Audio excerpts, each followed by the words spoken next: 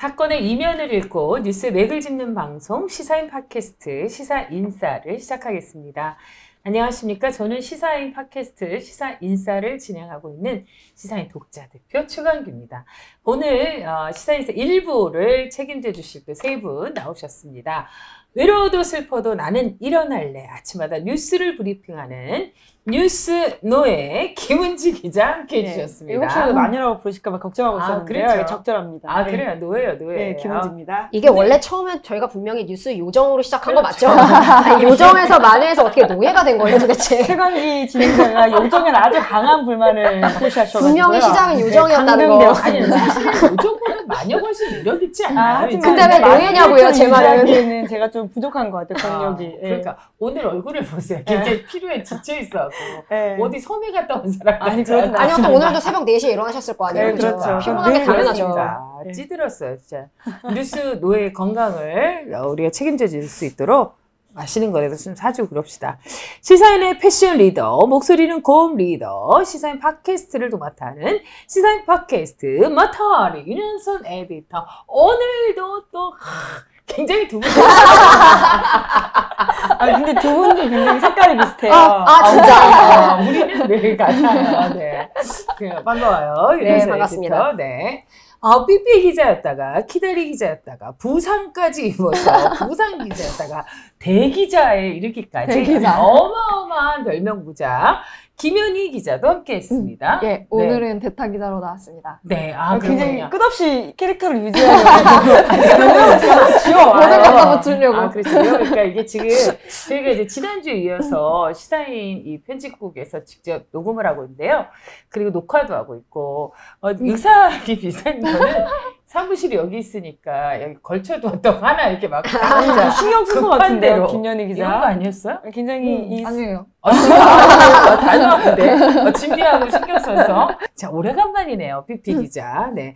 자 이번 주에 시사인에 실린 기사를 기자들이 직접 추천합니다 아, 시사인에 어떤 뉴스가 실려 있는지 궁금하실 텐데요 오늘 뉴스픽 코너 하나하나 시작해 보도록 하겠습니다 먼저 김은지 기자가 준비해온 뉴스는 어떤 뉴스인가요? 네, 이제 검찰 과거사위라는 네. 조직 기억하실 텐데요. 그렇죠. 아주 오랫동안 음. 국민들한테 많은 지지와 관심을 음. 받았던 곳입니다. 특히 장자연 사건이나 김학의 사건 때문에 더 많은 주목을 맞아요. 받았었는데요. 5월 말에 이 기구가 이제 드디어 공식적으로 활동의 끝이 나서 그렇습니다. 제가 관련된 기사를 준비했습니다. 아, 사실 이제 저희 시사인사에서도 이 문제를 지속적으로 다루고 그렇죠. 있어서 네. 이제는 많은 분들이 또 잘 정리가 되셨을 것 같아요. 어, 이게 이제 5월까지 활동을 이제 정리하면서 어떤 성과를 가져왔고 또 뭐 이런 여러 가지 이야기들이 많을 것 같아요. 네네. 네. 우선은요, 그러니까 좀 여러분도 놀라실 수 있는데 네. 이러한 검찰의 과거사를 짚어보는 공식 기구가 처음 있었다라는 거예요. 아. 이제까지 우리가 생각하는 검찰의 과거라는 게 꽤 많이 다들 하나씩은 떠오르실 텐데 그렇죠. 그러니까 경찰도 그렇고 국정원도 그렇고 국가 권력 기구의 남용이 문제가 되었던 음, 곳은 하나씩 음. 한 번씩은 다 과거사를 반성하고 그걸 어떻게 고쳐야 될지를 네. 스스로 이야기한 적이 있는데요. 검찰만은 정말 그 전에 한 번도 없었고요. 아, 이번이 참. 처음 있었습니다. 절대 권력이에요. 그래요, 어떻게 맞아요. 보면 검찰 네. 개혁이 얼마나 어려운지를 이번에 이러한 그렇죠. 사건으로도 알 수 있는 어. 있다라는 생각이 다시금 드는데요. 근데 사실은 이제 조금 기대보다는 이렇게 못 미쳐서 예. 스스로가 돌아본다라는 네. 것 자체가 역시 검찰은 돌아볼 줄 모른다. 다시는 돌아가지 않을래 뭐 이런 것처럼 그랬던 것 같아요. 자, 그 어떤 일이 있었는지 좀 하나하나 좀 짚어볼까요? 활동의 의미를 좀 짚어보도록 네, 하죠. 그러니까 말씀처럼 아쉬웠던 점들이 음. 특히나 마지막 부분에 음. 김학의 사건, 장자연 사건 때문에 좀더그 사람들한테 검찰 과거사위가 뭐 했냐라는 음. 평가를 받을 전 수밖에 특히 없는 장재현 사건이 그렇죠. 가장 아쉬웠어요. 네. 어. 사실은 리스트 없다라는 이야기들은 지금도 과거사위 네. 안에서도 어, 이견이 있을 정도로 음. 아. 사실 합의가 되지 에, 합의가 되어긴 했지만 음. 어, 이견이 있고 자체적으로 내부 비판이 나올 정도의 사건이긴 하거든요. 네. 그러니까 이거 두고두고 비판받아야 될 부분들이 많긴 한데요. 음. 그럼에도 불구하고 전체 17건의 사건을 조사했었고 아, 그. 안에서는 또 의미 있는 결과들을 끌어낸 게 있는데 네. 마지막이 좋아야 또 다 좋게 느껴지는 게 그렇죠, 있다 그렇죠. 보니까 음. 좀 전반적인 성과를 좀 조명을 못 받은 측면이 있긴 있습니다. 네. 예, 그래서 제가 김용민 변호사를 만나가지고는 이 사건의 의미를 좀 물어 이번 음. 활동의 의미를 좀 물어봤었는데요. 네. 김용민 변호사가 검찰 과거사 위원 중에서 가장 많은 사건을 주심위원을 맡아서 이렇게 사건을 좀 들여다봤던 인물이기도 그랬죠. 하고요. 네. 뿐만 아니라 어, 유우성 간접 조작 사건 음. 시사 인사에서도 한번 한 적이 있는데요. 음. 선배가 오래 취재하지 않으셨어요? 예, 예, 네, 그렇습니다. 네. 뭐그 인연으로 아직도 그 취재원들이랑은 음. 오랫동안 보고 있기도 한데요. 음. 그래서 그 유우성 사건의 변호인이기도 했기 때문에 이 검찰이 어떻게 책임지지 않고 어 그리고 지난 시간들 반성해오지 않았는지를 잘 아시는 인사이기 때문에 네. 좀 이분을 좀 만나서 제가 인터뷰를 했었습니다. 그렇군요. 이 김용민 변호사 는 어떤 이야기를 좀 풀어줬을지 궁금한데요. 네, 그러니까 김용민 변호사 말에 따르면요, 검찰 과거사위의 목표가 크게 세 가지가 있었다라고 네. 해요. 피해자 구제, 가해자 책임 규명, 제도 음. 개선. 그런데 이제 어떤 사건은 실체 규명부터 맡겼고, 뭐 예를 들어 음. 장자연 사건 같은 게 있겠죠. 그렇죠. 그리고 어떤 사건은 실체 규명은 됐지만 가해자 처벌을 제대로 하지 못했다라는 음. 것들도 있습니다. 음. 왜냐하면 공소시효 같은 게 끝나버려서 맞아요. 안타깝게도 못한 네. 것들이 있었거든요. 이제 이렇게 개별 사건의 특징마다 다 다르긴 했지만 음. 이 공통적인 것들을 김용민 변호사가 발견을 했다라고 하는 거예요. 아, 어떤 걸까요? 네, 그러니까 되게 좀 재밌었는데요. 그러니까 과거사위가 이번 조사를 통해서 어, 공통된 사건들의 특징이 뭐냐면 아, 소위 말아먹은 사건이라고 표현을 했는데요. 그런 사건들을 하나같이 와닿네요, 네. 그렇죠. 네. 과거에 어. 검사들이 어떻게 사건을 망가뜨렸고 어. 망가 말아먹었는지에 어. 대한 이야기인 건데요. 네. 그러니까 하나같이 기록에 다 사라졌다라고 하는 거예요. 아, 그 공통점이. 네. 아, 그러니까 정말? 놀라운 거죠. 그러니까 오. 이게 약간 범죄물에 나올 만한 이야기인 건데요. 그러네요. 국가기관에서 그 사건을 수사하고 조사하고 재판에까지 넘기게 했던 음. 내용들인데 그런데 그 핵심 증거들이 하나같이 다 없다라는 거예요. 지금 와서 다시 열어보니까. 이거 진짜 좀 범죄물 같지 않습니까?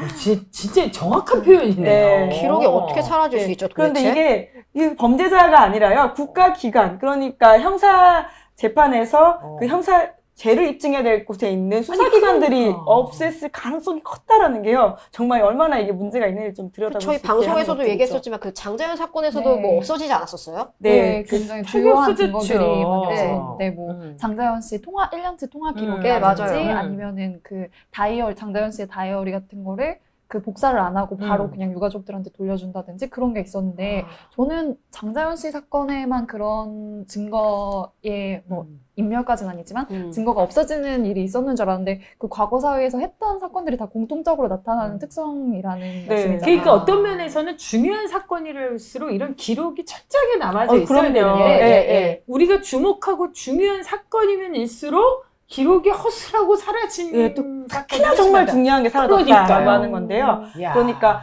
검사라고 하는 존재는 그러니까 우리가 저도 여러 차례 여- 음. 말씀드린 바가 있는데요. 가지고 있는 권력이 진짜 많습니다. 그렇죠. 권한이 많은데요. 음. 그러니까 수사권, 그리고 수사 지휘권, 그리고 기소권, 영장 음. 청구권뿐만 아니라 공소를 유지해야 될 권한까지 있습니다. 그렇죠. 공소 유지가 뭐냐면요. 재판에 내가 이 정도의 증거를 음. 가지고 입증을 했으니까 음. 재판 가가지고는 유죄를 입증할 수 있다라는 네. 거거든요. 사실은 자기가 형사 기소를 했음에도 불구하고 무죄가 나는 사건은 검사 입장에서는 소위 좀 쪽팔리는 그렇죠. 사실은 무능한 검사가 네, 되는 네. 거죠. 어. 그렇기 때문에 공소 유지까지의 책임이 있는 건데요. 음. 이제 그렇다면 당연히 그 증거가 핵심인 거고 음, 증거를 음. 통해 우리가 죄를 입증해야 되잖아요. 음. 그런데 핵심 증거가 더 없다는 거예요. 그러니까 아. 그게 참 정말 죄를 입증하고 싶었던 건지 아닌지 음. 의아할 음. 정도의 음. 상황이라고 하는 건데 아까 김연희 기자가 이야기했지만 장자연 사건뿐만이 음. 아니라요. 음. 그러니까 우리가 그 민간인 사찰 사건 혹시 기억을 하실지 모르겠는데 맞아요. 아, 예. 이명박 정부 초기에 소위 지코라고 하는 영상을 자기 블로그에 음. 올렸던 김종익이라고 하는 일반인이 있습니다. 네네네. 그 굉장히 개인적으로 인품이 정말 훌륭하시고요. 예. 정말 고고한 학자 같은 분이세요. 음.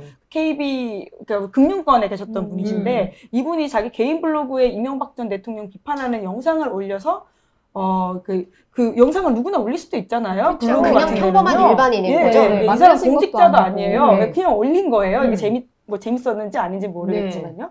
그런데 이 사람이 그런 이명박 전 대통령의 비판적인 인사라는 이유만으로요. 그냥 당시에 경찰이나 검찰이 아니라 어, 국무총리실 공직윤리 지원관실이라고 하는 곳에서 김종익 씨를 사찰했습니다. 말이 정말 되나요, 이게? 이게 정말 10년 전 일이긴 아니, 한데요. 정말 이런 일이 그렇게 있었습니다. 할 일이 없대요. 그러니까요. 어? 네. 그분들이 나름 그럼 뭐 인터넷 서핑을 하시는 거예요? 뭐 이런저런 일들을 했던 것 같은데요. 그러니까 더 놀라운 건 이제 그런데 이 사건이 드디어 꼬리를 밟힌 거예요. 너무 꼬리가 길면 네. 잡히잖아요. 그런데 이제 이 사건을 지시하고 실제적으로 시켰던 사람들이 들어갈 것 같으니까 윗선에서 이제 꼬리를 막 자르기 음. 시작하는데 음. 그 과정에서 핵심적인 증거가 담겨 있던 USB가 있었어요. 아. 그리고 대포폰이 있었는데 그런 게 다 이 수사 기록에서 없어졌다라고 하는 거죠. 아. 그 진짜 죄를 입증하려고 하는 건지 아닌 건지 그러니까요. 모르겠다라는 아닌 것. 같네요. 그러니까 이게 이건 이제 검찰 과거 사위가 밝힌 사건들을 보면 이제 이런 그런 점에서 보면 그러니까 초동 수사가 가장 중요하잖아요. 어떤 그렇죠. 사건이든 예, 증거를 확보해야 되니까요. 그렇죠. 근데 이 초동 수사가 엉망진창이었고 또 이제 그 기록들은 다 사라져 버렸고 그래서 어떤 혐의도 찾을 수 없기 때문에 기소를 할 수도 없는 거고. 그렇죠. 혹은 아주 약한 걸로 이제 그렇죠. 할 수밖에 없게 되는 건데요. 음. 그러니까 어, 장대현 사건을 보면 사실 핵심은 성매매나 아, 아, 성접대나 그리고 뭐 그렇죠. 이런 기타 등등의 문제가 있었는지에 대한 본질적인 연예계 음, 사업에 음, 대한 음. 문제점들을 지적했어야 되는데요. 음. 그게 아니라 명예훼손 뭐 이런 것들로 관련자들을 기소하거든요. 그 정말 그야말로 네. 그게 손방망이 아니에요. 네. 음. 아무래도 더 형을 세게 받을 수 있는 것들을 그렇죠. 약하게 받을 수밖에 없다라는 그래서. 국민들 입장에선 유전 무죄, 무전 유죄라는 말이 나오는 거죠. 네. 그리고 음. 사실은 더 윗선으로 올라가는 입을 막기 위해서 음. 결국 약한 음. 혐의를 적용한 게 아니냐라는 의심을 살 그렇죠. 수밖에 없는 건데요. 그렇죠. 김학의 전 차관 사건을 보면 딱 그렇습니다. 음. 김학의 전 차관으로 가는 모든 수사의 길목을 막아놨다라고 당시에 제가 취재했던 경찰이 이야기를 했었는데요. 음. 그러니까 아무래도 어, 윗선으로 올라가는 걸 막기 위해서라도 밑에 있는 사람들한테는 약한 혐의를 음. 적용해주고 소위 살살 수사할 수밖에 없었던 음. 것들이 있는 거죠. 참 이게 그 어쨌건 그래도 이제 과거 사회를 통해서 최소한 이런 거라도 확인을 했다라는 네, 건 그렇죠. 좀 의미가 있는 건데요. 네. 그 이렇게 해서 이제 기록이 중요한 기록들이 사라졌다 이런 건 알 수는 있는데 참 개인적으로 보면 그러니까 국가 권력에 대한 어떤 믿음이 또 네. 예, 사라진 거에 대해서는 좀 안타까움도 있는 것 네. 같아요. 그래서 검찰 과거사위가 음. 앞으로의 이제 그러면 이런 현실들을 목도했으니까 어떻게 고쳐야 네. 되는지에 대한 지적들을 음, 하고 있잖아요. 음. 그래서 크게 두 가지가 있는데요. 네. 법 왜곡죄라는 거를 적용해야 된다라고 하는 거고요. 나머지는 형사 기록을 검찰만 보관하게 할 게 아니라 음.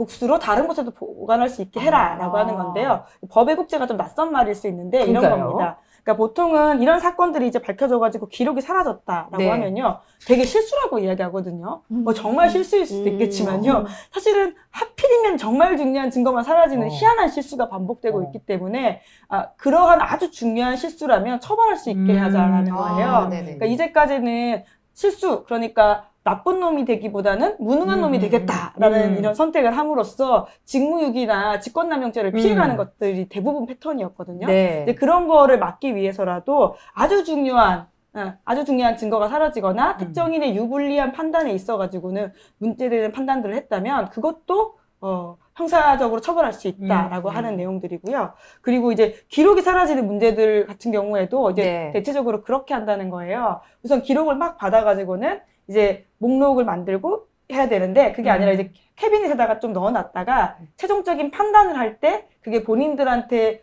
좋냐 안 좋냐라는 판단에 따라서는 넘버링을 하지 않는 경우들이 생긴다는 거예요. 아. 근데 이제 그렇게 하지 않고 목록이 넘어오면 자동으로 전산화되게. 어. 왜 요새 음주운전 같은 경우에도 네. 이제 빼줄 수 없게 음. 걸리는 순간 바로 전산화된다고 음, 하잖아요. 음, 이제 음. 그런 것처럼 이제 복수로 기록을 어, 보관도 하되 음. 동시에 전산화를 할 수 있게 하면 음. 이렇게 황당한 경우는 생기지 않을 수 있게 막을 수. 있다라고 그러니까 이야기하는 이제 거죠. 우리가 기대가 컸던 만큼 사실 그 기대에 못 미치기 때문에 실망도 컸지만 그래도 이제 검찰 과거사위를 통해서 단 한 번도 그 어떤 자신들의 과오나 잘못에 대해서 평가받지 못했 않았던 네. 검찰조차도 스스로를 돌아보게 하는 어떤 계기는 되었고, 네, 그렇죠. 예, 네. 어떤 그, 그 개- 자극은 주었으니까요. 아까 이야기한 것처럼 그런 법이라도 보완이 된다면, 제정이 된다면 훨씬 더 좀 의미 있는 앞으로 좀 진일보 하지 않을까 이런 생각이 네. 드네요. 그러니까 그래서 김용민 음. 변호사도 그런 이야기를 하더라고요. 음. 그러니까 검찰이 이제까지 한 번도 과거사를 짚어보지 음. 않았기 때문에 이게 이런 소위 긴장감이나 텐션이 없었다라는 네. 거예요. 근데 이제는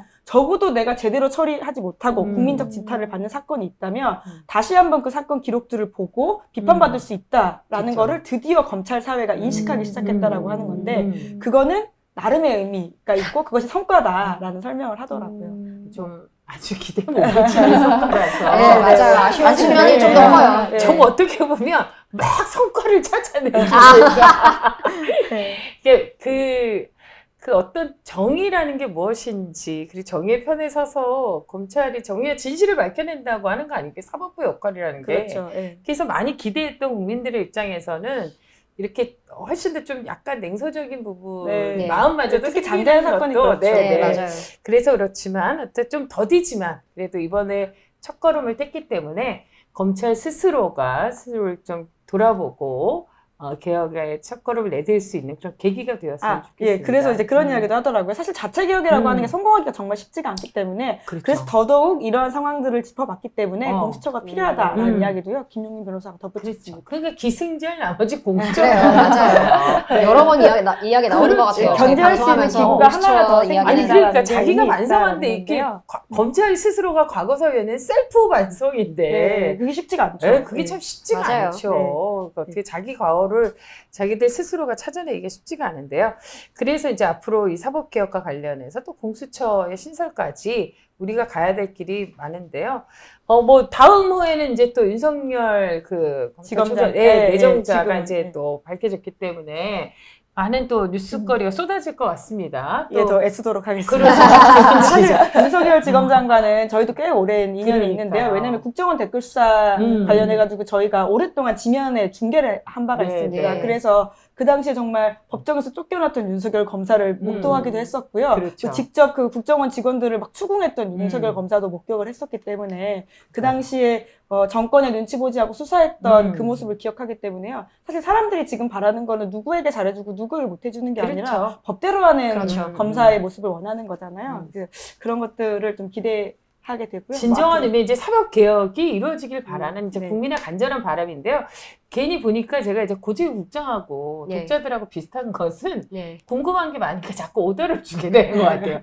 조사해 오세요. 아, 아이템 주시는 건가요? 아, 원장이 어, 국장과 독자의 공통점을 오늘 또 하나 아, 발견하게 마음. 국장의 마음이 이제 감정이입하시게 되는 것 같은데요. 그런 것 같지 않아요. 그분의 그러셨어요. 묘한 웃음이 아주 무섭더라고요. 어쨌건 또 김은지 기자의 이 사법부 개혁과 관련한 발걸음은 또 늦춰지지 않을 테니까요. 여러분 끝까지 좀 주목해 주시면 고맙겠습니다. 아, 김은지 기자 수고하셨습니다.